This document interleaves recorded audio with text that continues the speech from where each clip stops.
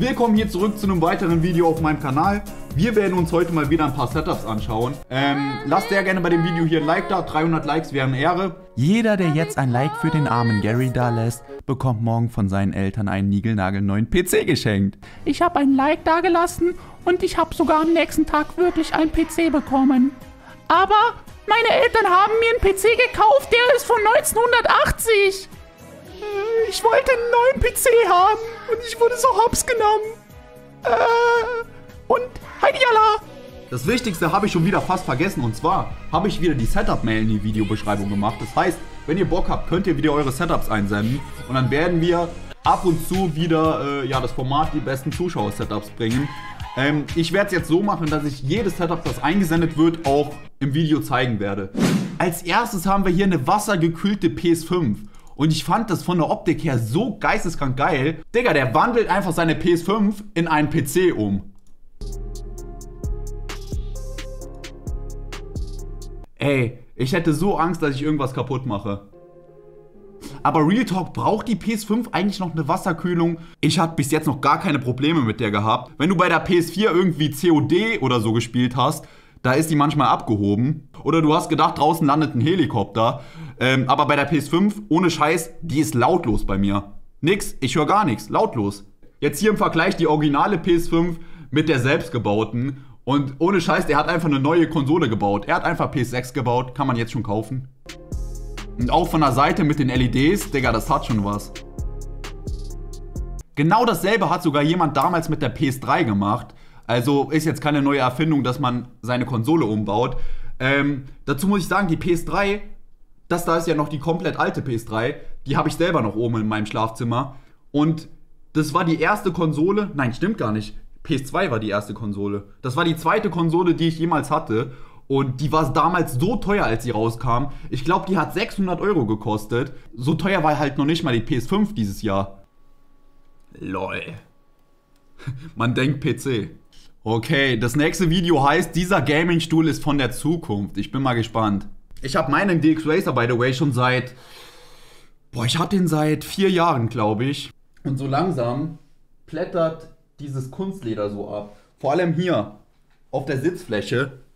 Guck mal hier, sieht man das? Sieht man das? Boah, Junge, ist der schwer. Also Paket ist ja schon mal größer als meine Zukunft. How massive this is. Like, look how tall I am compared to this box. It's so big. It's so big. Junge, was ist das?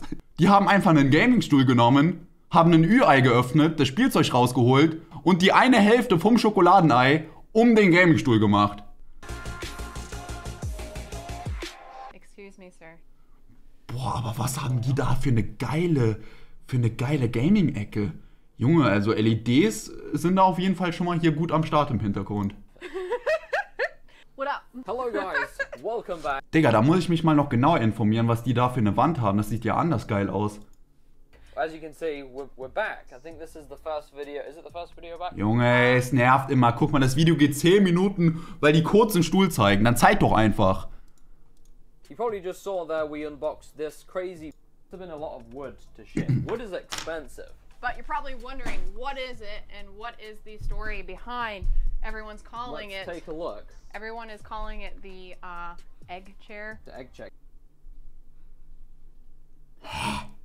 Bruder, also das macht ja wirklich überhaupt keinen Sinn, sich so ein Ding zu holen.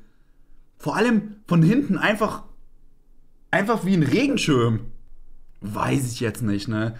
Also der Stuhl, der nimmt allein schon so viel Platz weg. Da sehe ich mich null. Really cool. Um, Aber man muss sagen, ich finde den Raum, ne? 10 von 10.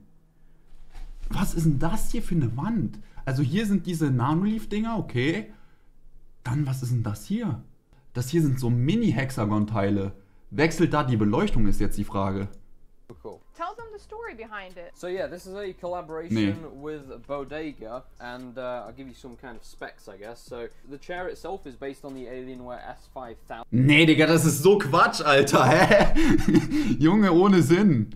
Aber man muss sagen, das Zimmer hier fühle ich von der Optik anders. Also beziehungsweise die Wände. Das ist so gut gemacht. Weil das sind ja auch solche 3D-Wallpanels Nur halt nicht diese normale Optik, die wir halt kennen, die gefühlt mittlerweile jeder benutzt.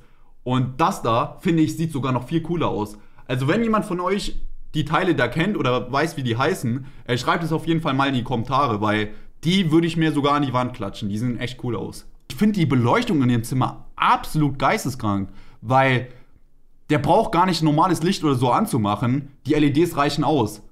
Und das sieht dann so cool aus, weil wir wissen alle, wie scheiße ein Gamingzimmer aussieht, wenn man da einfach normales Licht anmacht. Guys, this thing looks absolutely insane. Alter, was ein geiles Zimmer. Hatte ich gar nicht auf dem Schirm, diesen Raum da. Und vor allem, was ist denn das hier oben? Hat er jetzt extra. Also auf den ersten Blick sieht es hier aus wie ein Fernseher, der da hängt und da läuft irgendwie so ein Hintergrundbild. Aber wenn man genauer hinguckt, dann sieht man halt, dass es da auf keinen Fall ein Fernseher ist. Ich glaube, dass da ist ein Projektor. Ja, ist ein Projektor. Man sieht es hier unten noch, der dahin scheint. Coole Idee eigentlich. Uh, should we start here? Yeah, start here. Cool. Digga, erklär mir bitte, wo du die Matten daher hast. Erklär's mir bitte. Die sehen so abnormal geil aus. So what have we got over here, Nene? So this is going to be our TV setup. We're actually going to use this when we're like shooting YouTube videos. Our camera can hook up to it and we can directly see ourselves when we're filming over here in the space bar. So Ach it's going to be a great way to see what's going on Also eher weniger zum äh, Fernsehschauen oder so gedacht. for the videos. Yeah, so we've got the uh, USB LED strips on the back of there, which are shining light onto the panels, and there got the LED strips uplighting Mann, also jetzt erklär doch mal hier die, das Wichtigste mal. Was soll denn das hier? Wen interessiert denn scheiß Fernseher und die Beleuchtung hinterm Fernseher? Ich will wissen, wo die Panels im Hintergrund her sind. Wenn er das in dem Video nicht sagt, ne? Junge, dann lasse ich aber direkt ein Dislike da. I say Ooh, as well. ooh, show them the good vibes. Yeah, we cable manage that through the wall, so it's nice. Oh, jetzt, nanoleafs here oh, as das well. kannst du dir nicht ausmalen. Jetzt zeigt er die Nanoleaf-Panels. Jetzt zeigt er ernsthaft die Nanoleaf-Panels und redet wahrscheinlich drei Minuten nur über Nanoleaf-Panels. Here's the space bar. This is kind of where we'll uh, do, I guess, recording like PC builds and stuff. We still have to do these panels over Yeah. here. We just haven't had These time panels, to. genau. We got to cut it on the table saw, but that's for another day. And then we also Zeig have mir to bitte, go wo die to Panels her sind. and get some more of these uh, panels that we used. Hier, Panels. Ich will gucken, wo die Panels sind. 3D-Wall-Panels, da sind sie. Oh, was? Derzeit nicht verfügbar? Nein. Nein, Digga. Was soll das? Finde ich jetzt ein bisschen 31er. Die Matten sehen aus wie so ein abgespacedes Raumschiff, so aus so einem Weltallfilm irgendwie. Keine Ahnung, wie Star Wars oder so zum Beispiel. Ich wollte schon sagen, sehr clean, aber die sind ja noch nicht mal angeschlossen. Also hier ist keine Tastatur, Maus, PC oder sonst was. Ähm, aber hier sieht man schon mal, wie so die Optik wäre mit den Matten. Und das sieht echt brutal aus, muss man sagen. Hier oben ist auch so eine Cyberpunk-Verpackung. Und genau sowas habe ich gemeint. Das sieht halt so aus wie in so einem Cyberpunk-Spiel. Und hier auch so mit der Weltraumoptik, das passt alles sehr gut. my setup. So we've obviously got those disc lights. Everything, by the way, guys, will be linked in the description. Everything that we, we've used today and that we've showed you. So this is my setup. So we've got all the RGB coming along here, looking really nice. We've got the nano leaves on top of the headboard. Ich finde hier die Tischplatte irgendwie so ein bisschen billow.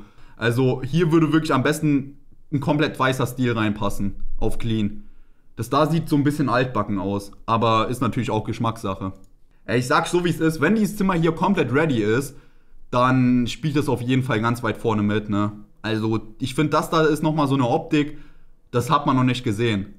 Und gefällt mir wirklich mega gut. weren't color changeable for every individual section. So Josh was able to change it to like a cool rainbow effect. It looks so cool. I love it. Vor allem, das ist so 200er IQ, ne? Dieser Holzrahmen, der sieht nicht nur gut aus, sondern der hat auch noch eine Funktion. Und zwar kannst du da hinten dran die LEDs machen und dann hast du eine super indirekte Beleuchtung. Und gerade in Kombination mit den Matten sieht diese indirekte Beleuchtung einfach nur geisteskrank aus. Einer der besten Setup-Wände, die ich bisher gesehen habe, das hier. Ist jetzt erstmal nichts geplant, aber ähm, das da ist auf jeden Fall eine coole Idee, die man eventuell auch umsetzen könnte.